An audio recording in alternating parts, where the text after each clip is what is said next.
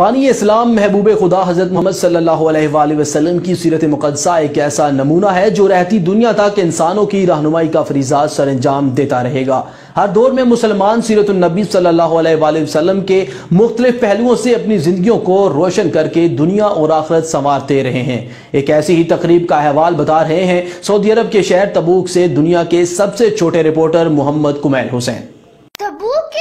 مقامی استراحہ میں پاکستانی کمیونٹی تبوک کی جانب سے سیرت کا پیغام پروگرام کے تحت ہماری ترجیحات کے عنوان سے خصوصی نشست کا اہتمام کیا گیا۔ نشست میں دمام کی جامعہ فہد سے آئے ہوئے مقرر پروفیسر شہزاد صدیقی نے گفتگو کرتے ہوئے کہا کہ زندگی مصروف یا فرصت والی ہماری ترجیحات ہمیشہ اللہ رسول صلی اللہ علیہ وآلہ وسلم اور قرآن سے محبت ہی ہونی چاہیے۔ اللہ سوجل اس سے محبت۔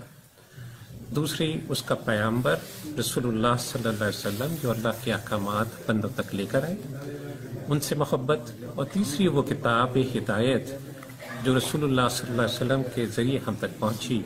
قرآن مجید، ان تین بڑی چیزوں سے جو ہماری، تین ہماری بڑی ترجیحات ہیں، ان سے جب ہم حقیقی تعلق پیدا کر لیں گے تو انشاءاللہ دنیا میں بھی سرفرازی ہے اور آخرت میں بھی انشاءاللہ کامیابی کی یہی تین بڑی دلیلیں ہیں۔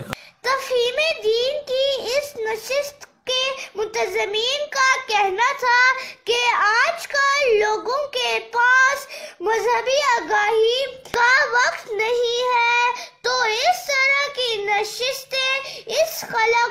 پر کرتی ہے۔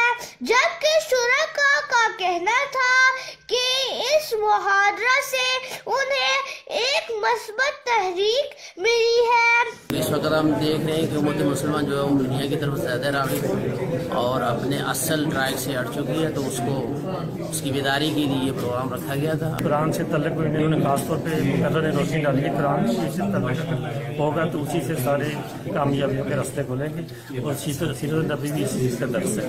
الحمد للہ اس سے امید ہے کہ ہماری زندگی میں فرق پڑے گا۔